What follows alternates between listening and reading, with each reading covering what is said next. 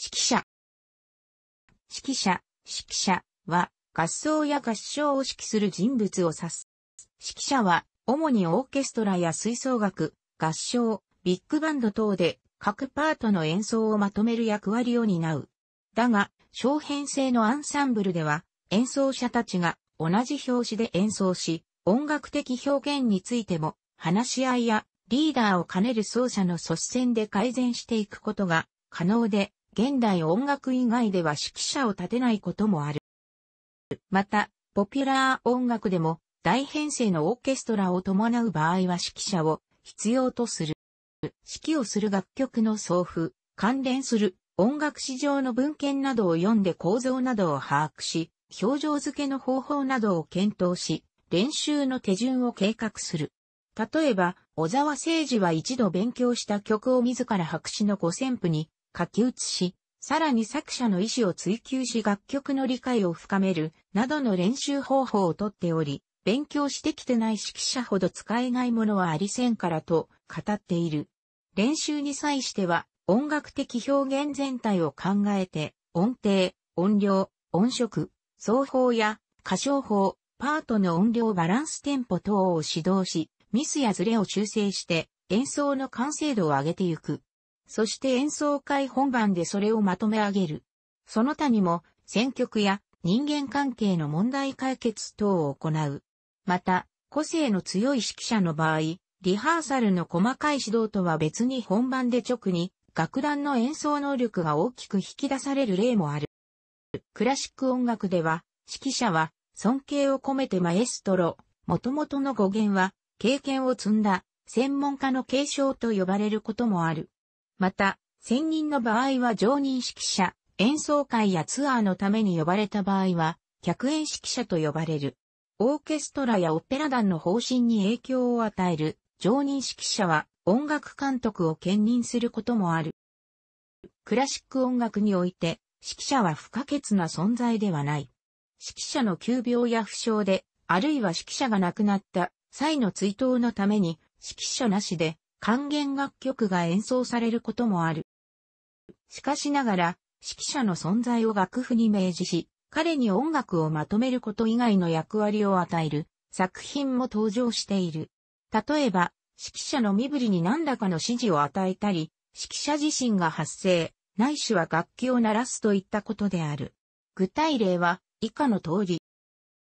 19世紀半ば以降、指揮者の専門職化が進んだ。現在では音楽大学の指揮科で養成されることが多い。歴史的に見ると、指揮者は専門職ではなく、楽団のリーダーである楽器奏者や声楽家、作曲家などがまとめ役として担っていたポジションである。作曲家として知られているフェリックス・メンデルスゾーンやグスタフ・マーラーなども指揮者として活躍していた。現在でもクアオーケストラのように指揮を専門としない音楽家が指揮をすることもしばしば行われている。また、口述のように、もっぱら指揮者として活躍する音楽家の中に、器楽奏者、声楽家、作曲家などから転身したものも少なくない。特殊な例では、王侯貴族、デンマーク国王フレゼリク9世、政治家、英国のエドワード・ヒース元首相など、や、会社社長、ソニーのがノリオなど。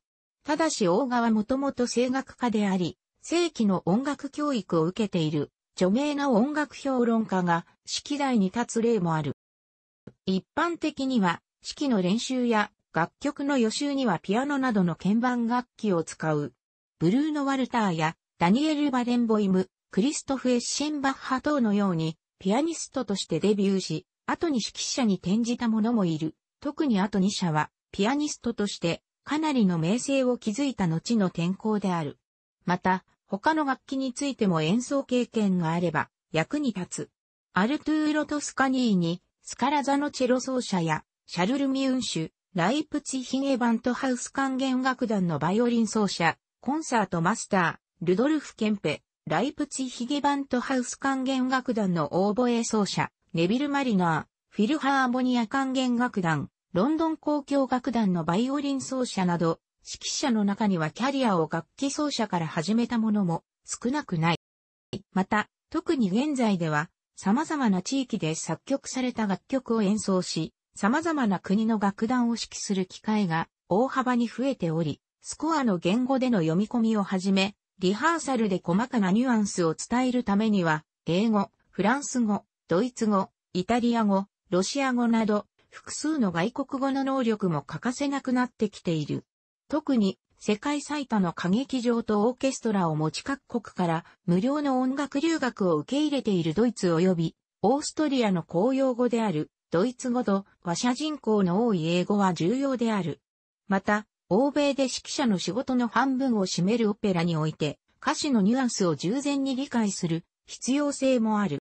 このように幅広い知識、能力が必要な上に、最終的には大勢の人間に自らの意思を伝え、音楽的表現を作り上げていく能力が重要であることから、指揮者となるためには実践的訓練が重要となる。例えば、ウィーンの音楽大学ではほぼ毎日、午前中はピアノを用いた指揮法のレッスンと楽曲分析、アナリーゼの授業、午後は実際に学生オーケストラを振らせるといった教育システムが取られる。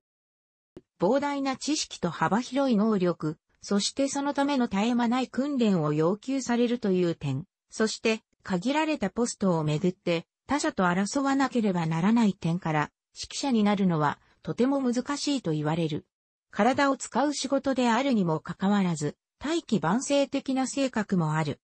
例えば、日本で初の指揮者名鑑であるレコード芸術付録、指揮者風スは、1976では、当時40代後半のカルロス・クライバーやハインツ、レーグナーが、若手、未来株と記述されている。当時は55歳定年企業が多数派であり、後年に比べて中年や老人の概念がずっと若いことも留意が必要である。また、同書でこれといったセールスポイントがないが安定株ではあると記された当時63歳のキュンターバトは80歳近くなってカリスマ化して世界中で熱狂的人気を集めた。70歳を過ぎて新ポストに就任することも珍しくなく、ロリン・マズエールが80歳でミュンヘンフィルハーモニー管弦楽団の新楽監督として3年契約を交わす等の例がある。